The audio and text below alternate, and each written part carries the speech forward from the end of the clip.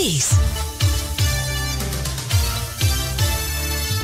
Kiss 89. Εδώ είμαστε τελευταίο ημίωρο, στην τελευταία παρέουλα για αυτήν την εβδομάδα και βέβαια είμαι στην ευχάριστη θέση να καλωσορίσω έναν αγαπητό φίλο, δάσκαλο πάνω απ' όλα, ηθοποιός, σκηνοθέτης, σκηνογράφο κατά ανάγκη και πολλά πολλά άλλα, τον Κώστα τον ε, Χαλκιά. Κώστα μου, Γεια καλή σου, σου Μανώλη. μέρα και σε ευχαριστώ που ήρθες. Γεια σου Μανώλη. Λοιπόν, ε, πριν σου παραχωρήσω το λόγο να μας πεις για την παράσταση, έτσι, ε, θέλω να πω πόσο δύσκολο ήταν να προσεγγιστεί μια τέτοια κατάσταση στη χώρα.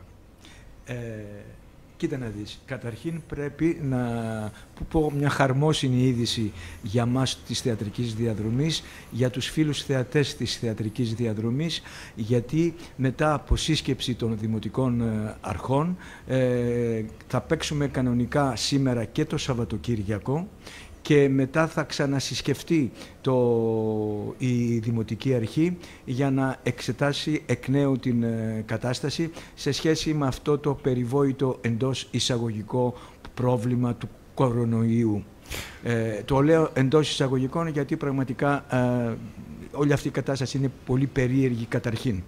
Ε, λοιπόν, ε, θέλω να πω στους αγαπητούς φίλους και θεατές ότι σήμερα ε, πρεμιέρα η αίθουσα του Πνευματικού Κέντρου έχει κλείσει, είναι κατάμεστη και έχουν μείνει εισιτήρια μόνο για τον εξώστη.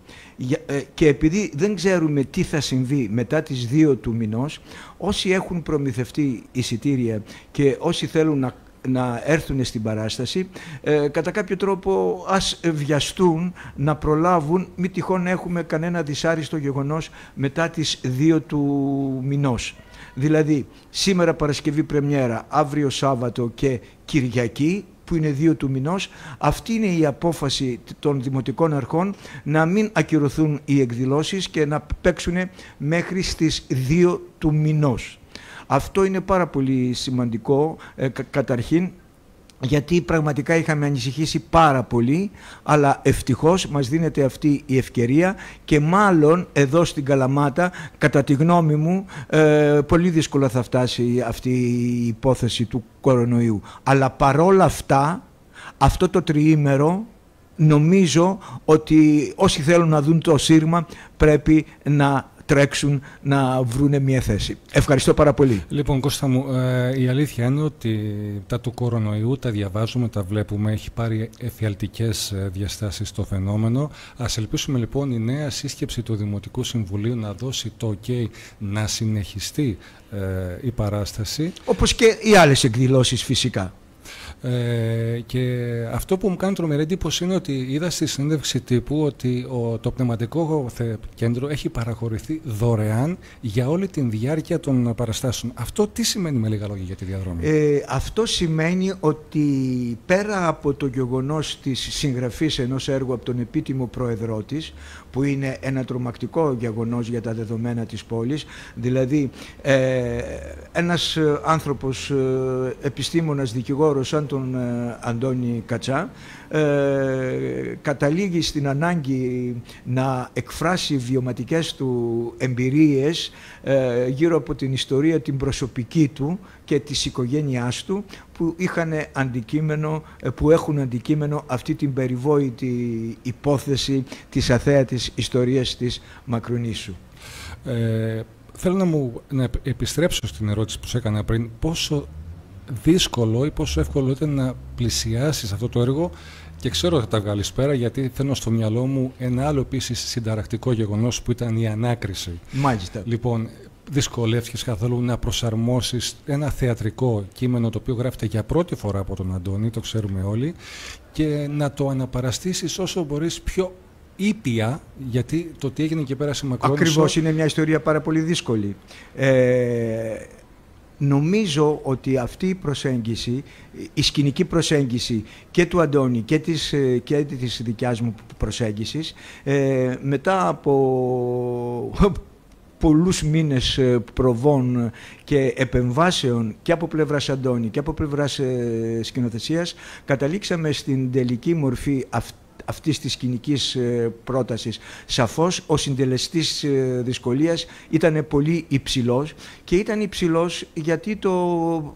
είναι, είναι πρωτόγνωρο το πείραμα το να ασχοληθείς με ένα ιστορικό γεγονός έτσι, το οποίο είναι το τόσο ζωφερό και τόσο πρόσφατο ιστορικά γιατί όπως λέει και ο Αντώνης λέει να πάρει ευχή να πάρει ρε παιδί μου λέει Ξέρουμε τη μάχη των πλατεών πότε έγινε, ξέρουμε τη μάχη της Χερόνιας πότε έγινε και να μην ξέρουμε τι συνέβη πριν από 70-75 χρόνια. Πρέπει αυτό το πράγμα να, να τολμήσουμε να το, να το παρουσιάσουμε έστω και σκηνικά. Βεβαίως έχουν γραφτεί γύρω στα 100 βιβλία γύρω από την υπόθεση της Μακρονήσου. Υπάρχει μια εγκυκλοπαίδεια αθέατη πίσω από αυτήν την ιστορία, όπως υπάρχει και το ψηφιακό μουσείο της Ακρόπολης, ε, της Ακρόπολης λέω, της, ε, της Μακρονήσου. Της Μακρονήσου. Ε, όποιος δηλαδή πραγματικά θέλει να μάθει πρέπει να ακουμπήσει και το δάκτυλό του επί τον τύπο των ύλων. Εμείς τον ακουμπήσαμε αυτόν τον δάκτυλο επί τον τύπο των ύλων και διαπιστώσαμε ότι δεν υπάρχει ούτε μία λέξη, ούτε μία φράση που να μην ανταποκρίνεται στα αληθινά γεγονότα που συνέβησαν εκεί εις βάρος 100.000 συμπατριωτών μας. Ε, οι πληροφορίες και αυτή η αθέατη εγκυκλοπαίδεια, όσο και να προσπαθήσαμε να την ξεφυλίσουμε, είναι ατέλειωτη και διαπιστώσαμε ότι είμαστε πάρα πολύ ήπιοι σε σχέση με ό,τι συνέβη στην πραγματικότητα. Αυτή η ποιότητα όμως δεν έχει να κάνει με μια ε, ε, υποχώρηση απέναντι στον γεγονός ή να απαλύνουμε τα, τις εχμές αυτής της ιστορικής ε, περίοδου και πάνω απ' όλα έχουμε μια εποπτική ματιά πάνω στο θέμα. Το θέμα είναι καθαρά ε, κοινωνικοπολιτικό, μέσα από προσωπικά βιώματα ηρώων που έζησαν πραγματικές καταστάσεις, αλλά και από την άλλη πλευρά ε, δεν, δεν ήταν πρέπον να το στενέψουμε το ζήτημα. Δηλαδή, και η φιλοσοφία του Αντώνη και η φιλοσοφία η δικιά μου συνέκλεινε σε ένα σημείο το ότι ο άνθρωπος διαμορφώνεται ε, κάτω από συγκεκριμένες καταστάσεις. Είμαστε δηλαδή σαν χαρακτήρες, σαν προσωπικότητες, είμαστε έρμεα των πραγματικών καταστάσεων σε ένα υποκειμενικό και αντικειμενικό ε, επίπεδο. Άρα στην παράσταση παίζουν, να μην πω η ε, μισή, τα δύο τρίτα μπορεί να μην έχουν καμιά σχέση με μια στενή πολιτική άποψη.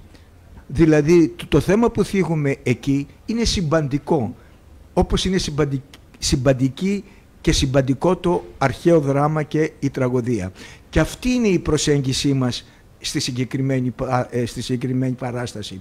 Επειδή θεωρώ ότι ο μεγαλύτερος δάσκαλός μου είναι το αρχαίο δράμα, μέσα από την προσέγγιση του, του αρχαίου δράματος, μέσα από φόρμα του αρχαίου δράματος, ε, κάναμε αυτή την ε, προσπάθεια να εκφραστούμε ε, σε ό,τι μας, κατά κάποιο τρόπο μας επιτάσσει αυτή η ξαφνική παρέμβαση στα θεατρικά πράγματα της πόλης και όχι μόνο του Αντώνη Κατσά με το πρώτο του θεατρικό έργο. Ε, επέτρεψέ μου Κώστα μου να διαβάσω λίγα πράγματα σχετικά με τη Μακρόνησο. Η σκληρότητα των βασανιστερίων που έλαβαν χώρα εκεί κάνει φανερό ότι με πρόσχημα την αναμόρφωση των κρατουμένων ασκούνταν σωματική και ψυχολογική βία ώστε να καμφθεί η συνείδηση και το φρόνημά τους με σκοπό να αποκηρύξουν με γραπτές δηλώσεις μετανοίας τα φρονήματά τους. Είναι απίστευτο αυτό που έγινε. Είναι μια ιστορία που πιστεύω ότι λίγοι την ξέρουν και επίσης ε, είχα έρθει προχθές ε, σε μια πρόβα. Ήταν μια κυρία, μια ηλικιωμένη η οποία ήταν από τις τελευταίες στη χώρα. Ε, είναι καλαματιανή και είναι η, η συντρόφισσα Πότα.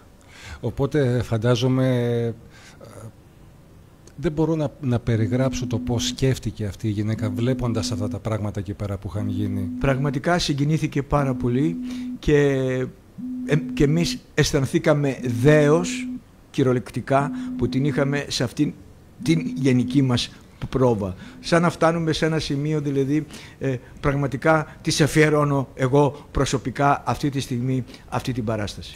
Ε, φαντάζομαι τελικά ότι ήταν πάρα πολύ δύσκολο το να προσεγγίσεις μια κατάσταση γιατί ε, κάποιοι παππούδες από τα παιδιά που παίζουν, κάποιοι συγγενείς τέλος πάντων ήταν στη Μακρόνισο. Ε, αγαπητέ, είναι, είναι πολύ σημαντικό. Αγαπημένε μου Μανώλη, ε, και μόνο στην πόλη της Καλαμάτας δεν υπάρχει οικογένεια που να μην είχε κάποιον δικό της άνθρωπο που να ταλαιπωρήθηκε σε αυτή την υπόθεση, σε αυτόν τον φρικτό τρόπο, ε, τόπο εξορίας. Πραγματικά τα παραδείγματα είναι άπειρα και τι να πω τώρα, θα έπρεπε να μιλάμε όλη την ημέρα για πραγματικά γεγονότα που μου διηγήθηκαν άνθρωποι με τους οποίους όχι και επί τούτου, τυχαία βρεθήκαμε, α, κάνετε αυτό το πράγμα, μιλάτε για τη Μακρόνισο, ο παππούς μου, η γιαγιά μου, ο θείος μου, ο αδερφός μου και ούτω καθεξής. Πραγματικά αφορά όλους τους Έλληνες αυτή, αυτή η υπόθεση. Και μάλιστα στο πρόγραμμα, στο πρόγραμμα παρακαλώ, βάζω ε, ένα τρομακτικό ντοκουμέντο που είναι το υπόμνημα του ακαδημαϊκού καθηγητή φιλοσοφίας ε, του Κωνσταντίνου Δεσποτόπουλου, πως έφεδρος ανθιπολογικός και καθηγητής φιλοσοφίας στη Μακρόνισο, έγραψε ένα μνημειώδες υπόμνημα στην, ε, στο, στο αρχηγείο στρατού και εξηγούσε τους λόγους για τους οποίους δεν μπορεί να υπογράψει. Και είχε και αυτοί οι λόγοι πραγματικά, πίστεψέ με, είναι η βάση ε, όλων των αντιρρήσεων όλων των αντίθετων προς την καταπίεση ε, του προσωπικού φρονήματος του καθένα μας. Δηλαδή και μόνο το πρόγραμμα ε, του σύρματος κάποιος να πάρει στα χέρια του θα καταλάβει ε, το πόσο εποπτικά και πλατιά αντιμετωπίζουμε αυτό το ζήτημα που κάποιοι μπορούν να πούν μα τι θέλουν τώρα και ξέρω εγώ αναμοχλεύουν αυτά τα πάθη και ούτω καθεξής. δεν είναι πάθος, προσωπικό ή υποκειμενικό, είναι αντικειμενικά ιστορικό. Ο Θουκυδίδης έλεγε ότι ευτυχισμένος άνθρωπος είναι αυτός που γνωρίζει την ιστορία. Έτσι. Και το ελάχιστο εμείς που μπορούμε να προσφέρουμε αυτή τη στιγμή είναι να υπογραμμίσουμε αυτήν την αθέατη ιστορική ε, πλευρά της σύγχρονης ε, Ελλάδας. Η ηρωνία είναι ότι η Μακρόνισο ξεκίνησε σαν ένα στρατόπεδο αντιφρονούντων με τρία τάγματα. Είναι μεγάλη, είναι πάρα πολύ απλό. Είναι μεγάλη ιστορία. Απλό το θέμα είναι ότι ίσως η συνταγή για την τότε κυβέρνηση ήταν αρκετά πετυχημένη ώστε να μετατραπεί από στρατόπεδο ε, σε αν, τόπος, δηλαδή, σε αν, ανεπιθύμητων στρατιωτών μετατράπηκε και σε πολιτικό ε, κάτεργο κτλ. Είναι πάρα πολύ απλό, Μανώλη. Μετά την ε, κατάθεση των όπλων από πλευράς ε, των μαζικών ε, αντιστασιακών οργανώσεων όπως το ΕΑΜ, Ελλάς κτλ. Ε, η Ελλάδα δυστυχώς είναι η μόνη χώρα της Δυτικής Ευρώπης που δεν ε, έσυρε στα δικαστήρια των συνεργα... τους συνεργάτες των κατακτητών. Έτσι. Ε, οι οποίοι φοβούμενοι μια πιθανή, κατά τη γνώμη μου, ε, δυσμενή αντιμετώπιση τους στο άμεσο μέλλον που έρχονταν, άρχισαν να καταδιώκουν με τα μανίας ε, όσους είχαν λάβει μέρος ε, σε αυτή την υπόθεση της εθνικής αντίστασης. Και ενώ άρχισαν να λειτουργούν κανονικά οι ΕΣΟ με, μετά το, την αποχώρηση των ε, Γερμανών κτλ. έπρεπε οι, οι, νέοι άνθρωποι να παρουσιαστούν στο στρατό της πατρίδας. Και μόλις βλέπανε ότι ο Τάδε ήταν ε, ξέρω εγώ, ε, συνεργάτης ε, στο, στον Ελλάς ή συ, συμμαχητής ή συνειδοπόρος κτλ.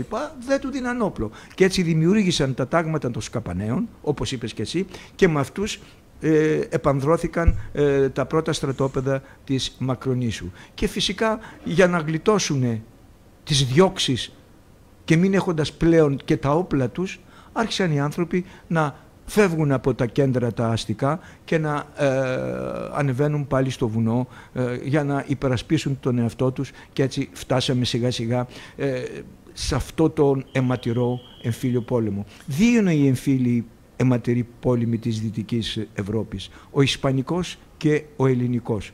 Γιατί, Γιατί τα προβλήματα της κοινωνίας σε κοινωνικό-οικονομικό επίπεδο ήταν τραγικά και το μόνο πράγμα που ζητούσαν οι μαχητές ε, κατά κάποιο τρόπο ε, του δίκαιου και, της, και του ψωμιού και της ελευθερίας ήταν το ψωμί και τίποτα άλλο και να δει μια προκοπή αυτός ο τόπος.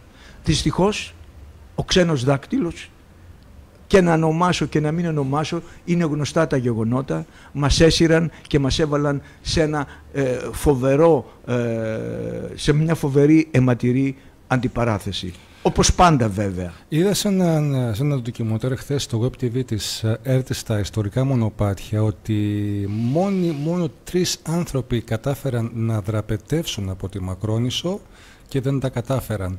Και πέρα από όλα αυτά λειτουργήσε... Ο δικός μας ο ήρωας στο Σύρμα τα κατάφερε. Μπορεί να είναι και πραγματικό γεγονός, αλλά μπορεί να είναι και συμβολικό γεγονός και έχει τεράστια σημασία για την δραματουργική σύνθεση του σύρματος του Αντώνη Κατσά το ότι ο ήρωάς μας κατάφερε και δραπέτευσε. Πάντως ε, λειτουργήσε και λίγο προπαγανδιστικά για την υπόλοιπη χώρα.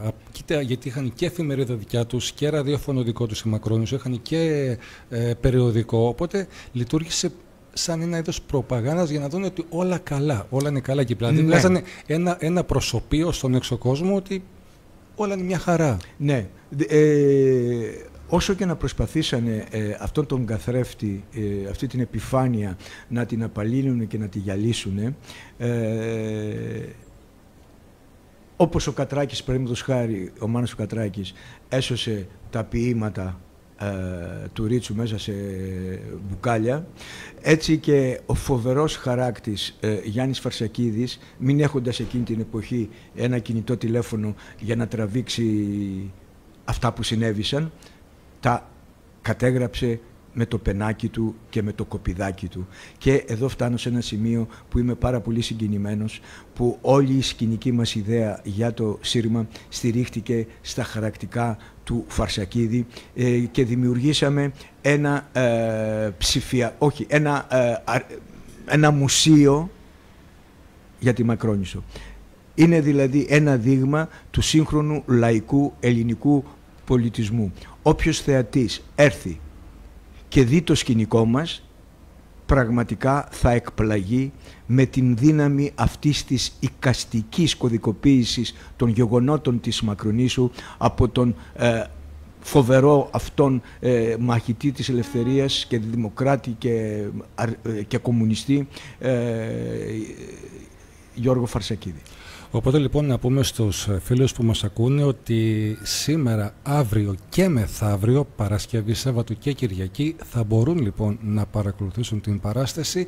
Τη Δευτέρα τους άλλως το πραγμάτων δεν θα γίνει παράσταση αλλά θα προγραμματιστεί Δημοτικό Συμβούλιο. Συνεχίζουμε, συνεχίζουμε κανονικά, δηλαδή μέχρι την Κυριακή. Και επειδή έχουμε τη σχετική ανησυχία με, το, με, με τα γεγονότα αυτά τα που συμβαίνουν, εμείς καλούμε όλο τον κόσμο, μην τυχόν συμβεί κάτι και σταματήσουμε την, ε, την Κυριακή, έτσι. Γι' αυτό καλούμε αυτό το τριήμερο να κατακλειστεί, όπως κατακλείζεται σήμερα η πρεμιέρα από τους φίλους μας τους θεατές, έτσι. Εξάλλου έχουν και το εκπτωτικό κουπόνι από την προηγούμενη παράσταση, με το οποίο μπορούν άνετα να έρθουν να το ε, εξαργυρώσουν. Ε, λοιπόν, Κώστα, θέλω να σε ευχαριστήσω που βρήκες χρόνο τελικά να είσαι εδώ. Σε παρακαλώ, σε παρακαλώ πολύ. Εξάλλου το βήμα αυτό δεν είναι η πρώτη φορά που το χρησιμοποιούμε οι δυο μας και αυτό το πράγμα που βλέπω αυτή τη στιγμή στο στούντιο είναι πέρα για πέρα συγκινητικό και τρελό εντός εισαγωγικών γιατί κατάφερες και δημιούργησες έναν ιδιωτικό τηλεοπτικό ε, σταθμό. Δεν θα το έλεγα τηλεοπτικό, είναι ραδιοτηλεοπτικό, είναι κάτι που, προσπαθούμε να κάνουμε τα τελευταία χρόνια. Το, το, ξέρω. Λοιπόν, σε ευχαριστώ πάρα πολύ. Εγώ Ελπίζω να πάνε όλα καλά Κώστα μου. Ε, θα τα πούμε το βράδυ. Να σε καλά Μανώλη. Να σε καλά Κώστα. Γεια χαρά σου.